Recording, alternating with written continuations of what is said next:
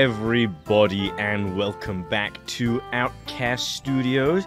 I hope you've all had a lovely time while you've been away. Today, as you might be able to tell, I am once again no longer joined by the thinnest of rubies, thinner ruby. That is because, due to the British heat, the man has decided to go on a second holiday. The Tory fucker. I can't even afford to have one, never mind two. But either way, as he isn't here, today's, or the next few, should I say, Anhedonia episodes will be hosted by yours truly and yours truly alone. So without much further ado, Let's get started. And what a way to introduce things than if I were to zoom back out again. Check out the sky, my guys. Yeah, so if you're wondering why it was so dark outside, that's why.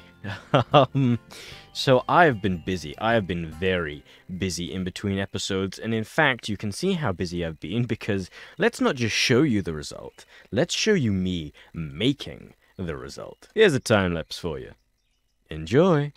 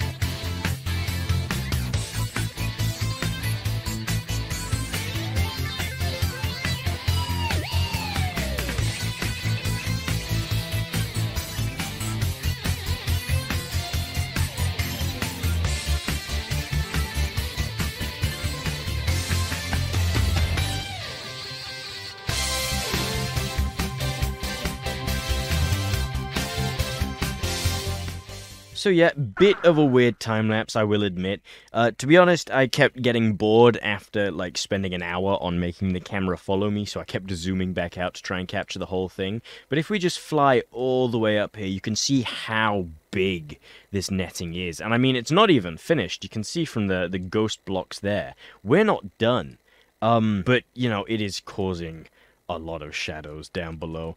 Uh, I'm hoping that when I get this thing fully operational, the shadows will disappear when the blocks do. Um,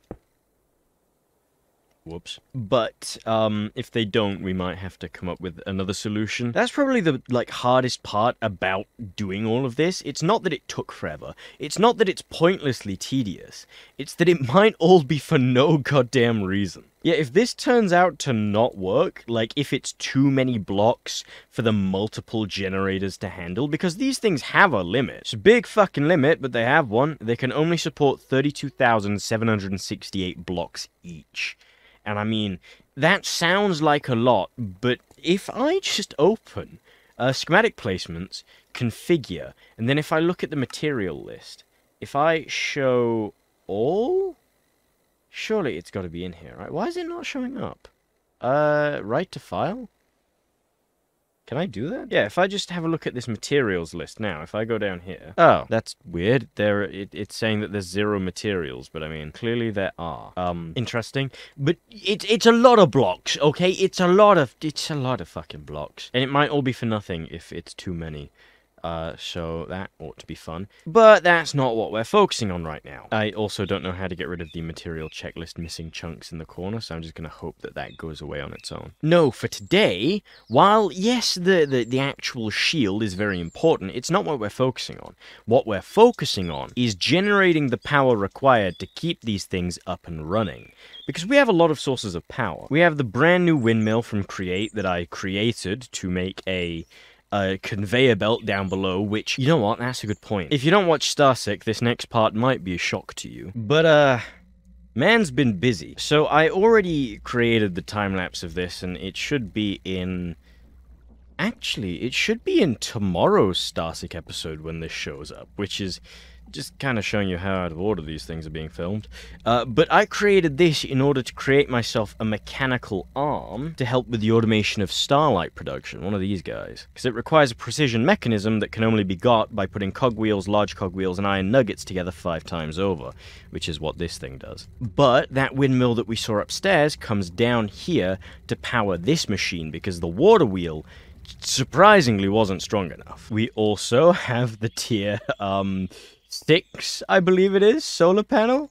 We have the tier 6 solar panel um, that we created in last uh, last Starsec episode. I know time. Yeah, we created that one in Tuesday's last Tuesday's episode of Starsec in order to power the computer. And let me tell you, this thing is powerful.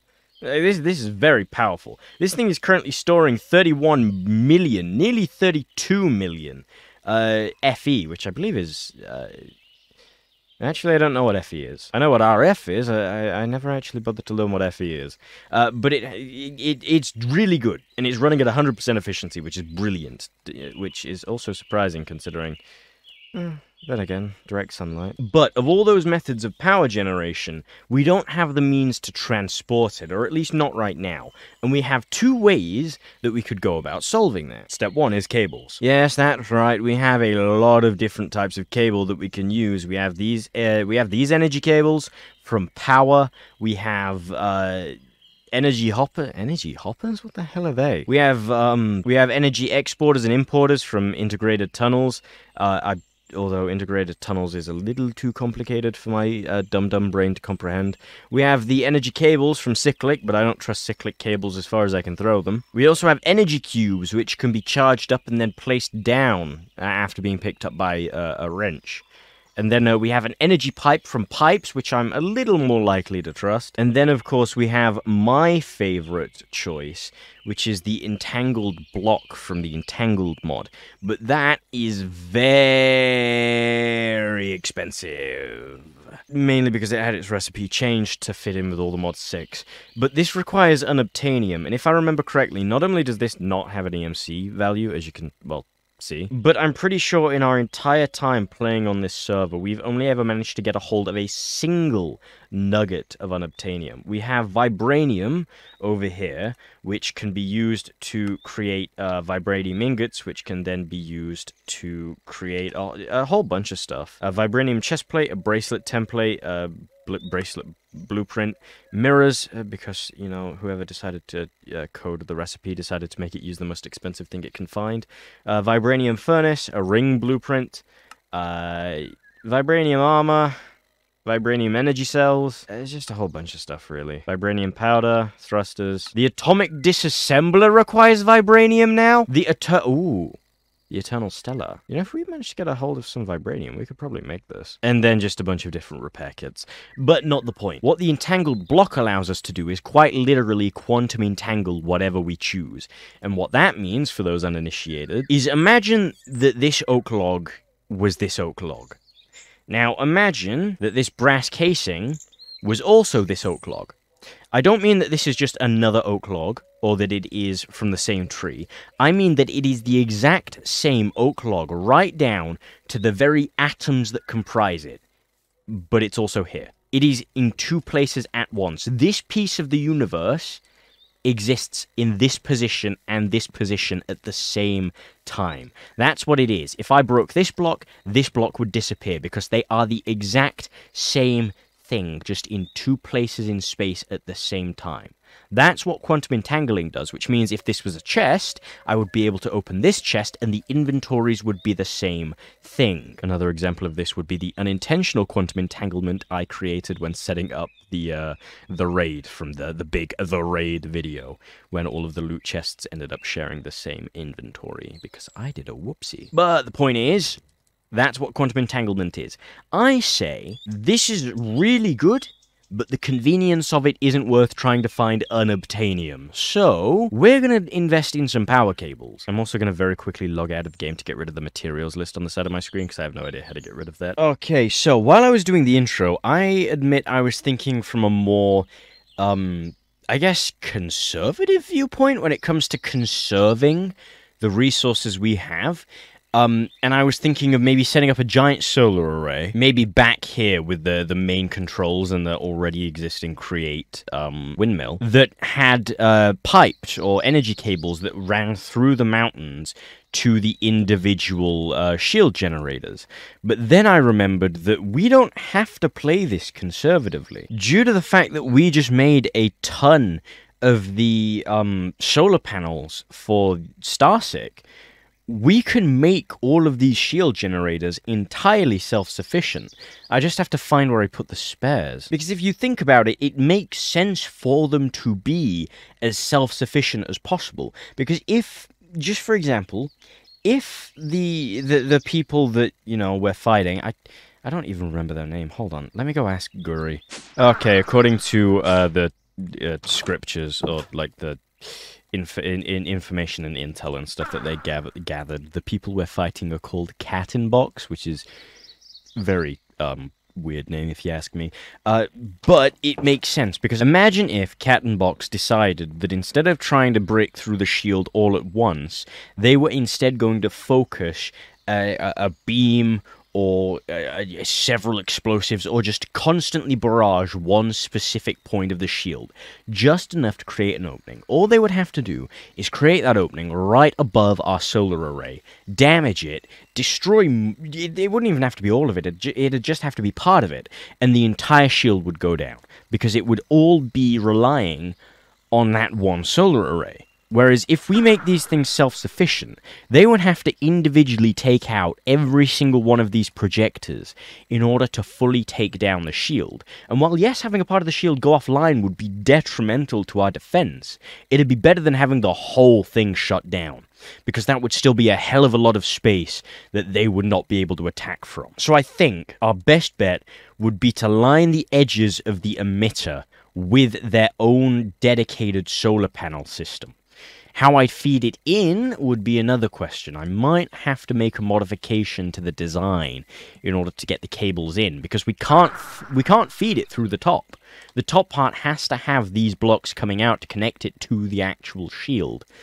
So it needs to be from underneath, but solar panels from underneath wouldn't work. I need I need to think about this. In fact, you know what? I don't need to think about this. I need to find the fucking solar panels because they're not in my backpack. Well, the tier 5 ones are, I'm, uh, but I'm looking for the tier 6s. Okay, you know what? I'm fucking sick of spawning down here the only reason I have left the, the, the waystone down here is because all of my stuff is still here. The next chance I get, I'm moving all of this. I cannot be fucked with spawning down here every single time. But the reason I'm here is because, there we go, I figured that I'd left all of, stuff, all of my stuff in the chests.